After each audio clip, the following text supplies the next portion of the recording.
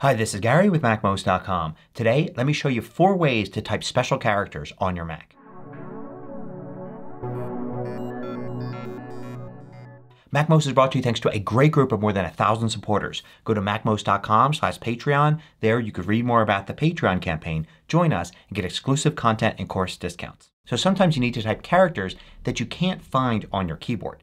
Sometimes these are simple variations of the characters, like adding an accent mark to a letter.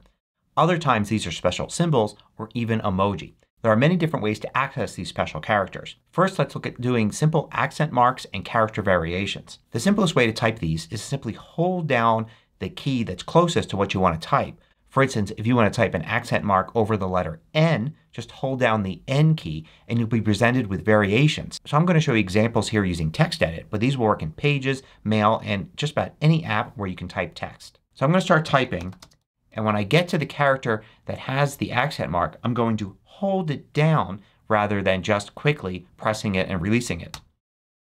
And you see above the character I'm given some choices. These are variations or the same character but with accent marks. Now I can use my mouse to simply select the character or I can press the number on the keyboard that corresponds to the variation I want. So in this case I'll type the number 1 and then I get the variation. Here's another example. I'll press and hold C and there I'll go with variation 1. And here's another example. I'll press and hold E and in this case I'll go with variation number 2. This method is not only great because it's so easy but it's also easy to remember. You don't have to remember how to access these special characters or look them up or what they're called or anything. Just press and hold the key. This only works for letters that have variations. So for instance if I hold the letter G down I don't get anything. But if I hold something like the letter U, I'll get variations for that. I, variations for that. Z, variations for that. Now you can also type characters with accent marks and other symbols using modifier keys on the keyboard. So modifier keys are Command, Option, Control, and Shift. But mostly Option and Shift are used to type modifications. So for instance if I wanted to type a yen symbol I can do Option Y. If I wanted to type degrees I can do Option K and the keyboard's filled with these. For instance Option X, Option H, Option B.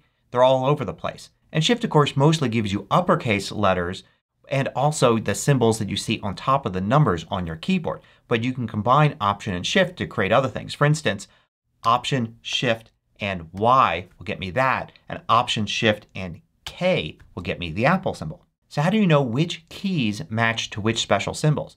Well, it's easy to find out. Matter of fact, you can get a map in two different places. So first let's go to System Preferences and then Keyboard. And then we're going to go to Input Sources. And here you've got your keyboard on the left. If you have various keyboard layouts, you'll see them all here. Select the one that you're using and you'll see a keyboard layout here. Now hold the Option key down and you'll see it change to show you what characters holding Option and pressing that key will generate. So if I see there's a copyright symbol and I think that might be useful I'll just release the Option key. And see that's the G key. So I can flip back and forth by holding the Option key down. I could also hold the Shift key down or both Option and Shift. Now another way to see this is to click here. Show Input Menu in Menu Bar. Then you've got this menu up here. So now we can leave System Preferences. And if I go here I can bring up Show Keyboard Viewer and it brings up this nicer version of the keyboard. And just like with System Preferences, if I hold the Option key down it will show me the different characters that I'll get when I use Option with that key. The same thing for Shift and Option Shift together. And if you hold Option down it not only shows you the Option key equivalents but it shows you what you get if you hold Shift if you look very carefully at each key. So this is a handy little menu here that you can keep up if you need to type these characters. And you can easily close this window. You can bring it up again very easily. It even has all these options here. This is part of the accessibility features. So a lot of these things apply to that. But you have the ability to shrink this down. You can go to a light appearance. You can make it semi-transparent so you can see behind it. Now another thing you'll see here is when I hold the Option key down notice some of the keys have an orange outline. These are called dead keys. That's right. They're called dead keys. And the reason for that is they go back to the typewriter days where there would be special keys on a typewriter keyboard called dead keys. You press them and they don't seem to do anything. They seem to be dead. But the next key that you type would then have a variation of that key rather than the regular one. So for instance, notice here I've got one that's over the E key. Option E is a dead key for this type of accent mark. So if I type Option E and then a letter after it, it'll put that accent mark above it. Let's try that out. I'll go here and I'll use Option E. And notice I get that accent mark but it's got a yellow background. That's just telling me, okay, you've typed a dead key. The next key you're going to press will be modified by this. So if I type an I, you can see that accent mark appears over the I. If I do the same thing, Option E and then an A, the accent mark goes over the A. Now this only works if the accent mark fits with the character. So if I do Option E and then type say an H, I simply get that character all by itself and the H. It only works as a dead key if the next key you type matches. So it has a variation that includes that accent mark. So you can see the dead keys here. There are five of them. And you can release the Option key to see which one it is. So for the N, I can hold down Option N and then type N and I get that. I can do Option N and then O and that same dead key will work for the O but not for very many other characters. Now the last way to type special characters gives you access to thousands of different special characters including emoji. And it's easy to access. There's a built-in keyboard shortcut for it. It's Control, Command, and Space. And that brings up the emoji and special character viewer. And it's a control that you can scroll through and it includes every emoji that's available. Also special symbols and all sorts of odd and unusual characters that come with your Mac. To use it, all you need to do is click on the character and it inserts it right where you were when you used Command Control Space.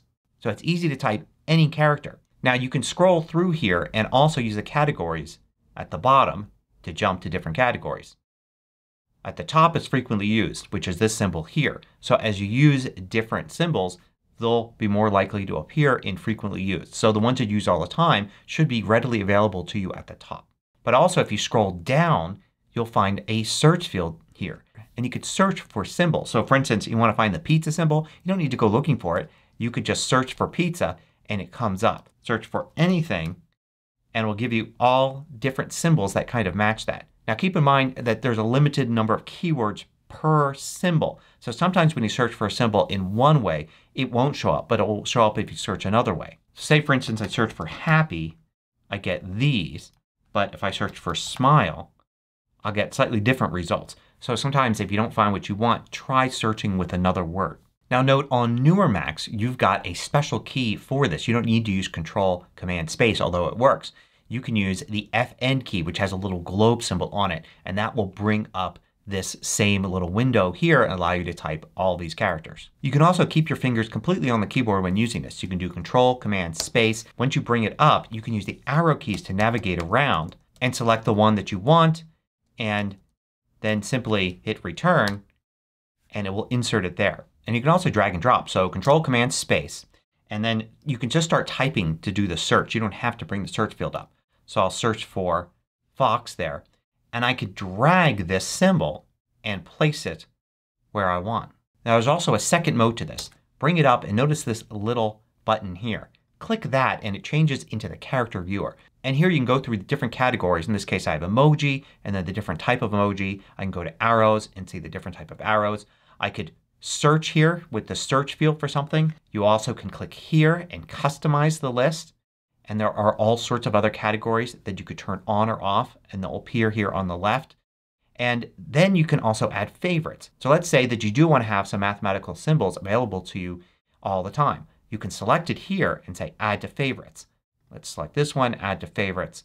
And now those will be in favorites. You can see frequently used just like we saw before and favorites. Now I will click the button here to go back into this mode and notice now I've got favorites here. So I've got frequently used and favorites. So I can set these characters to stay there no matter what I do. They won't change depending upon the frequency of how I use them. So those are the four ways to type special characters on your Mac. But I have an extra tip for you. you can use text substitutions to make some of these easier to type. For instance, say you use the pizza symbol a lot. You can go to System Preferences and then under Keyboard go to Text and create a text replacement. So I'm going to hit the plus button here and I'm going to add something I would never normally type. For instance, I could do a period, which you would never start a word with, and type pizza. And I could have that replaced with the pizza emoji. So I'm going to do Control Command Space. It will bring this up. I'll search for pizza. I'll double click it here and you can see it inserts the pizza emoji there. So now dot pizza will always get replaced with a slice of pizza. I can try it here. Dot P-I-Z-Z-A space to the next word and you can see the pizza emoji gets typed there. So you could add some of your favorites to text substitutions to make them even easier to access. So I hope you found this useful. Thanks for watching. If you liked this video, click the thumbs up button below to let me know. I publish new tutorials each weekday. Hit the subscribe button so you don't miss out.